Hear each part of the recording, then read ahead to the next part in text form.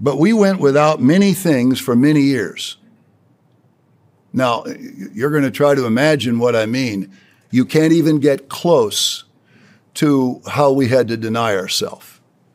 This is the first time I've ever said this. There were times my children ate and we didn't.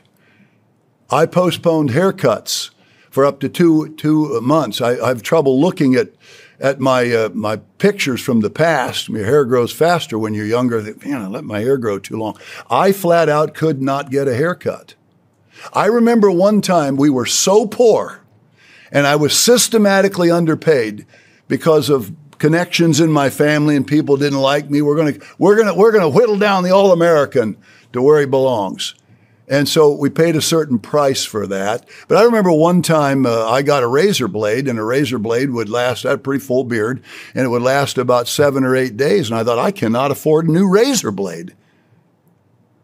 And I asked God, oh, what a serious prayer.